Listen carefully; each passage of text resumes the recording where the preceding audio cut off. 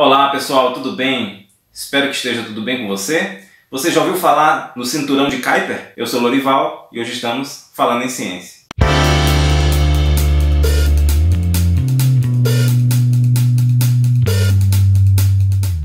O cinturão de Kuiper também recebe o nome de Edgeworth Kuiper. É uma zona do sistema solar que ocorre desde a órbita de Netuno a 30 unidades astronômicas até 50 unidades astronômicas de distância do Sol. Uma unidade astronômica equivale a quase 150 milhões de quilômetros. O valor específico está aparecendo aí embaixo para vocês. Quem sugeriu a existência dessa região foi o astrônomo Gerard Kuiper em 1951, por isso leva o seu nome. Ele argumentava que os cometas de curto período, ou seja, aqueles que duram menos de 200 anos, seriam originários de uma região próxima à órbita de Netuno, e que essa região seria elíptica, no mesmo plano das órbitas dos outros planetas. Porém, o cinturão ele só foi oficializado em 1992 pelos pesquisadores David Jewitt e Jane Lu, utilizando o observatório da Universidade Mauna Kea, no Havaí. Foi de lá que observaram uma série de objetos dessa região. Desde a descoberta do primeiro objeto, que são chamados de KBO ou KBO, que são os Kuiper Belt Objects, já foram catalogados mais de 100 mil corpos nessa zona.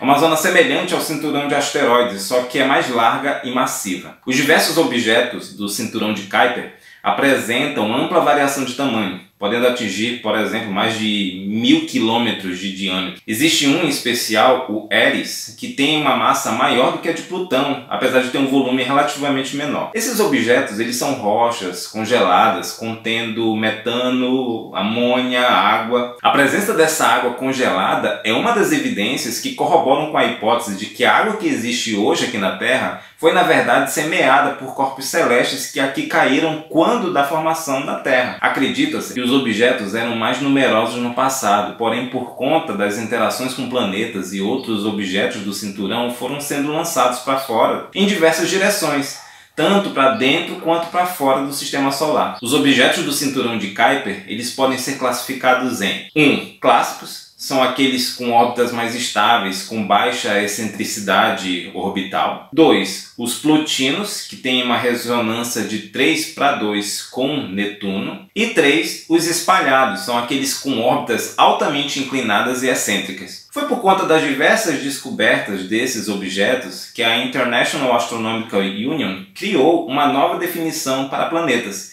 Foi aí que em 2006 Plutão deixou de ser considerado planeta e passou a ser classificado como um planeta anão. Plutão, inclusive, é considerado como um objeto do cinturão de Kuiper. O cinturão de Kuiper não é uma estrutura única no universo. Existe uma estimativa de que 15 a 20% das estrelas possuem em seus sistemas uma estrutura como essa. Não se sabe ao certo qual a origem do cinturão, mas por conta do seu formato, hipotetiza-se que seja remanescente da nebulosa protosolar. Existe uma tendência de que o cinturão desapareça. Isso ocorre por conta da colisão e da fragmentação dos objetos presentes na estrutura. Estima-se que daqui a 100 milhões de anos o cinturão já não mais exista. Espero que tenha gostado desse vídeo. Deixe seu like, compartilhe com seus amigos, se inscreva no canal, assine as notificações, vídeos novos aqui toda semana. Muito obrigado por ficar comigo até aqui. Um grande abraço e até!